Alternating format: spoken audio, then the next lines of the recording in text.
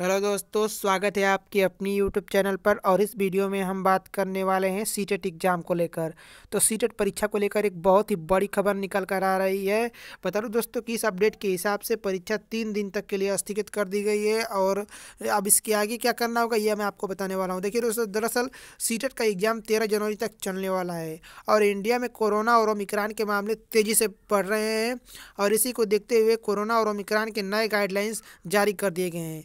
तीन दिन तक की परीक्षा जो स्थगित होगी, वो लास्ट में, यानी कि ग्यारह, बारह और तेरह दिसंबर तेरह जनवरी तक जो परीक्षा है, उन परीक्षा को स्थगित किया जा सकता है। क्योंकि मुंबई में बहुत से एग्ज़ाम्स को पहले ही स्थगित कर दिया गया है कि सबसे ज़्यादा मुंबई में ही कोरोना और ओमिक्रॉन के मामले देखे गए हैं। यूपी में अभी थोड़ा बहुत कम है तो यूपी में परीक्षा स्थगित नहीं होगी। मुंबई के कुछ इलाकों की परीक्षाएँ स्थगित कर दी जा सकती हैं, अभी हुई नहीं है। आपको चैनल को सब्सक्राइब करके रखना है।